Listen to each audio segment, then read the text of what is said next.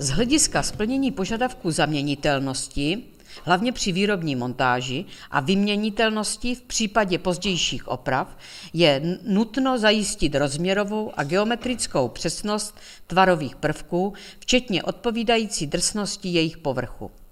Při tolerování délkových rozměrů se vychází z poznatku, že skutečné rozměry združených ploch, které spolu tvoří uložení, například průměr díry a hřídele, musí ležet mezi dvěma mezními rozměry, které ještě zaručují požadovaný funkční vztah spojovaných ploch. V obrázku slovo díra označuje obecně vnitřní plochu, slovo hřídel vnější plochu.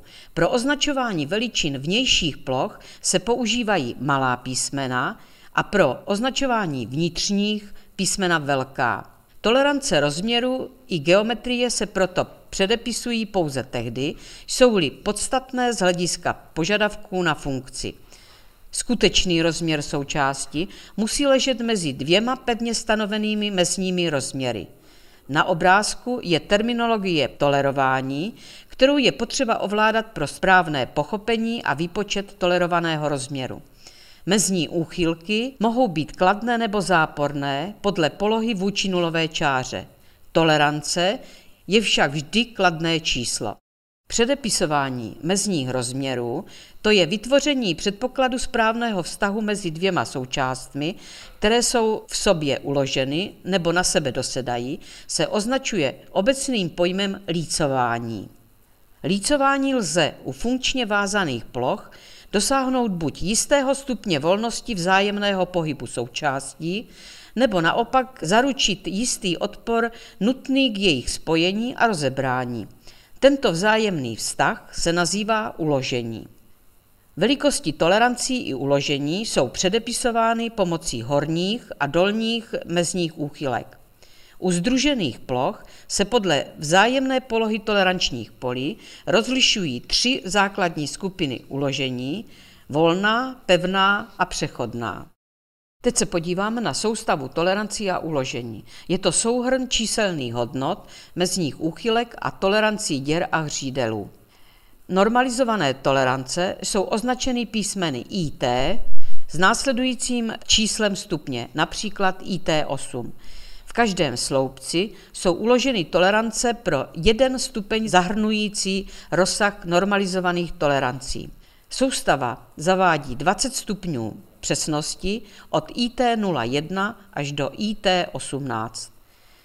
Příklady použití IT ve strojírenství pro výrobu měřidel a kalibru od IT01 až do IT4, pro výrobu ložisek do IT7, pro přesné a všeobecné strojírenství od IT5 do IT11, pro polotovary do stupně přesnosti 16 a pro kovové konstrukce od přesnosti 13 až do 18.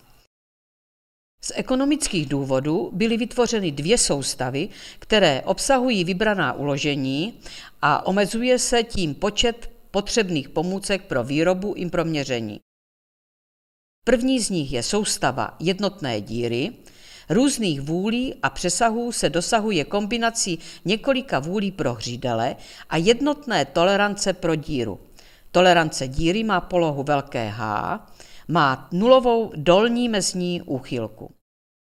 Druhá soustava je soustava jednotného hřídele, kdy různých vůlí a přesahu se dosahuje kombinací několika vůlí pro díry a jednotné tolerance pro hřídel. Tolerance hřídele má polohu malé h a má nulovou horní mezní úchylku. Uložení zvůlí neboli hybná, která dovolují vzájemný otáčivý nebo posuvný pohyb součástí. U nich toleranční pole díry je celé nad tolerančním polem hřídele a v soustavě jednotné díry má díra polohu H, velké písmeno, u tohoto uložení určujeme vůli minimální a maximální. U soustavy jednotného hřídele tolerance hřídele má polohu malé h a má nulovou horní mezní úchylku. Další uložení je uložení přechodné, u kterého se může vyskytnout jak vůle, tak i přesah, protože se toleranční pole díry a hřídele částečně překrývají. Třetí uložení je uložení s přesahem, neboli lisovaná, která zaručují při působení předpokládaných funkčních sil nebo momentů nehybnost spojení. Toleranční pole díry je celé nad tolerančním polem hřídele. Skutečná vůle nebo přesah u dvou funkčně združených součástí závisí na tom, kterému z mezních rozměrů se skutečný rozměr při výrobě obou součástí přiblíží. Teď se podíváme na udávání přesnosti rozměru na výkrese. Z hlediska tolerancí se rozlišují rozměry tolerované, Požadovaná přesnost se udává připsáním mezních úchylek bezprostředně za jmenovaný rozměr a netolerované Přesnost je stanovena buď všeobecnou normou nebo technickými podmínkami sjednanými mezi výrobcem a zákazníkem. Třetí rozměry jsou informativní a ty toleranci nemají. Mezní úchylky tolerovaných rozměrů se zapisují toleranční značkou u rozměrů, které je možno kontrolovat pevnými mezními kalibry, to je hlavně při výrobě sériové a hromadné. Toleranční značka se píše za jmenovitý rozměr, stejně velká jako kóta, mezi písmenem a číslicí ve značce se nedělá mezera. Toleranční značkou spolu s číselnými hodnotami úchylek nebo mezních rozměrů v případech, kdy není jasné, bude-li mít výrobce potřebné mezní kalibry, a třetí možnost je, úchylky se zapisují za značkou do závorky. Horní úchylka se zapisuje vždycky nad úchylku dolní, nezávisle na tom, jedná-li se o rozměr vnější, tedy o hřídel, nebo vnitřní o díru. Úchylky se zapisují číslicemi stejně velkými jako kóta.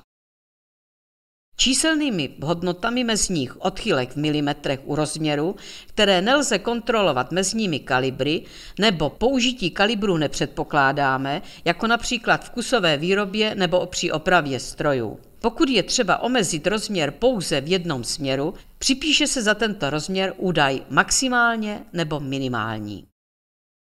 Pokud udáváme přesnosti uložení na výkresek sestavení, tak jmenovitý rozměr se zapisuje jenom jednou a toleranci uložení lze zapsat buď toleranční značkou nebo číselné vymezení úchylky rozměru díry se zapisuje před toleranční značkou nebo číselnými mezními úchylkami hřídele nebo nad ní. Na těchto obrázcích je kótování úhlů, roztečí a otvorů, pro které platí zásady jmenované již u předchozích obrázků.